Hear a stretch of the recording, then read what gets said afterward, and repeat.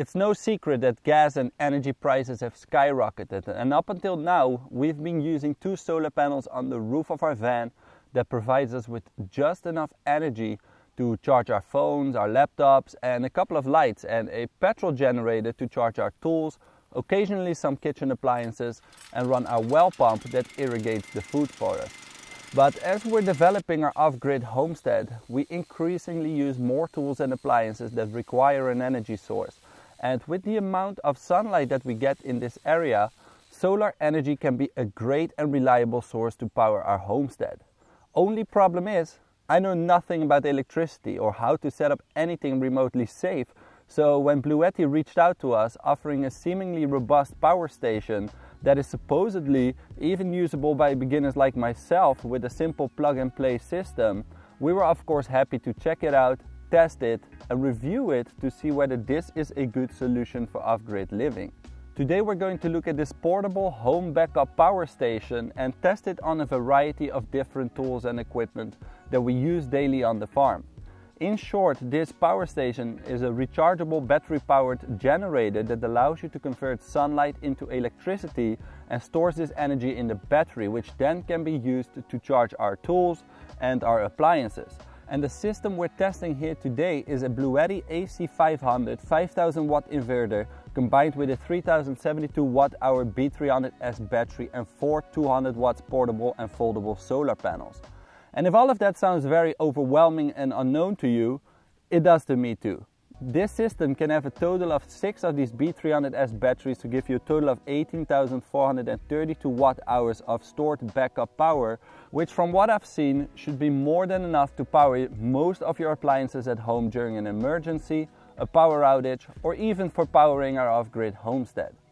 So let's test it out. We've got a couple of different appliances and tools that we use on a regular basis. We've got a phone, laptop, manual blender, smoothie machine, electrical pie cooker, a jigsaw, circular saw, a powerful well pump and last but not least, a washing machine. First, let's hook this thing up. Okay, so if I'm not mistaken, this goes here, this goes here, and then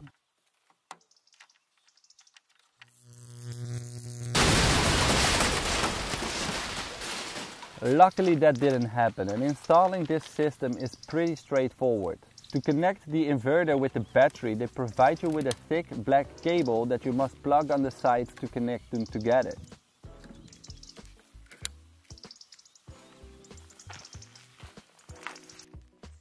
Then there are the foldable solar panels that come provided with integrated cables that you can hook up together and simply plug into the system which then immediately starts charging it.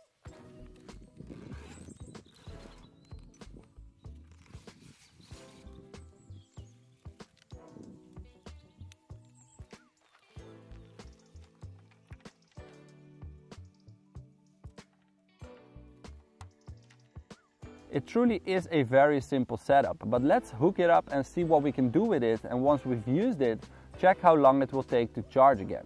So let's find out. So I hope you can see this, but there is a touchscreen on this system where you can find all sorts of information and the battery is currently completely full.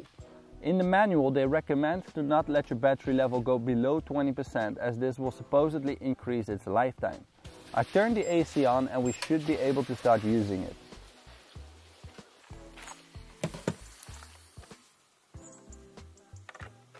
This phone requires approximately a whopping 5 watts to charge, which shouldn't be a challenge for the power station.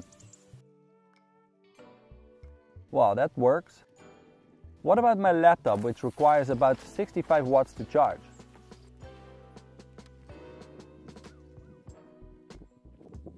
Too easy again, it's time to step up our game.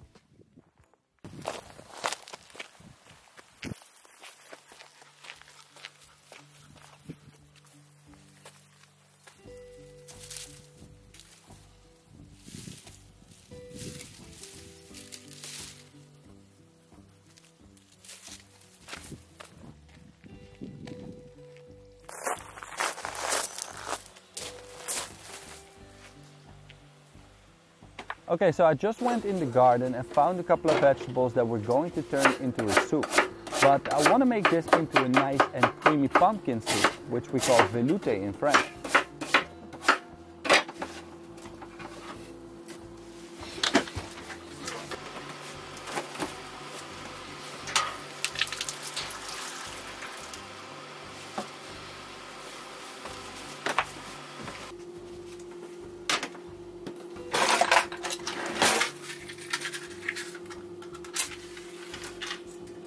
I'll have to blend the ingredients together and for that I use this tool that requires 800 watts which is quite a big jump from our laptop at 65 watts.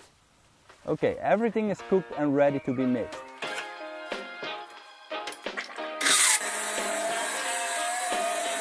That actually worked out really well.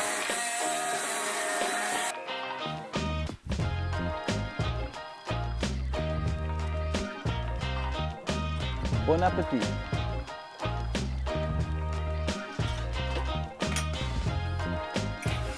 That's hot. But good. And whilst we're in the kitchen, let's try out some more stuff. This right here is a blending machine that can also cook at the same time. At a whopping 1500 watts, it requires quite a bit of energy to run. So let's try it out. I'm just going to put some fresh spinach with kale, bananas and some water.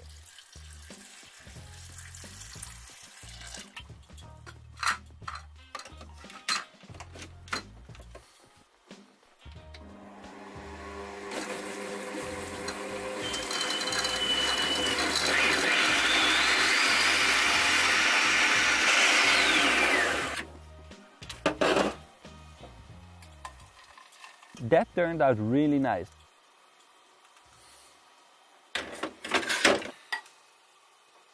If you haven't tried this mix yet, you're missing out.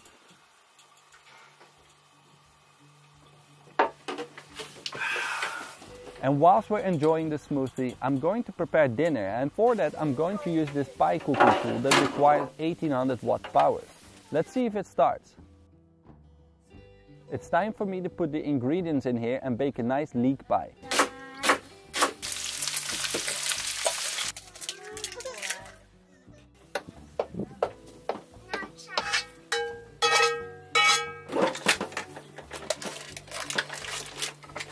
Let the cooking begin.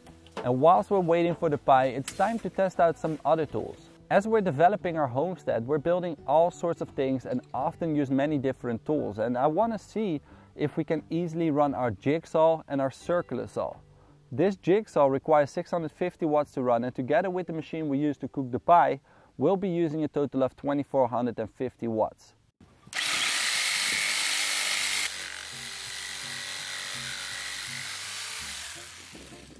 That went smooth. Let's try the circular saw, which is much more powerful than the jigsaw. And whilst the pie is still cooking at the same time, we're going to be using about 3300 watts total.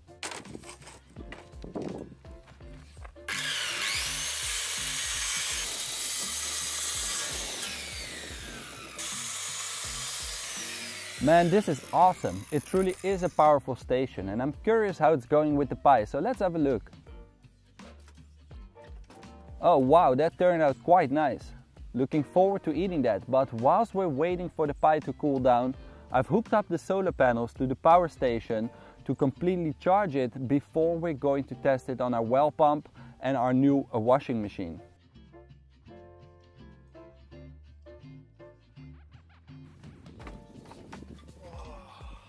Alright, I feel much better after that and it's time for us to do the biggest test that we've done so far.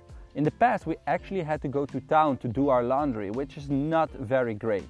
But with this power station we should be able to get our laundry done at home. The only thing is, we need to both run the well pump that requires about 1300 watts to run and needs up to 3900 watts to get started, and the washing machine that takes about 730 watts per hour. So that's quite a stretch. But let's find out if it works. Alright, so the well pump is now running and it's time to start the washing machine.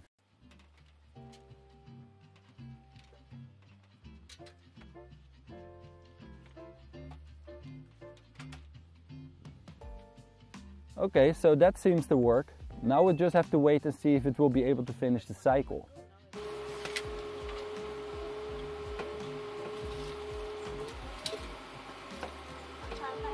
We're now an hour further and laundry has finished. That is so awesome. It's incredible what the power station is capable of as we're able to now use most of the tools here on the farm and it's definitely a good alternative to the petrol generator that we've been using up until now. I like how this system is compact, portable and that it comes with a simple plug and play feature which allows even complete beginners like myself to use it. It's great as a home backup power station or even for everyday life on an off-grid homestead. And if you consider getting a similar system set up, make sure to check out the link in the description box below. Or if you're currently still looking for land, make sure to watch this video in which I go over important considerations when buying land for your off-grid homestead. Thanks for watching and I'll see you in the next video.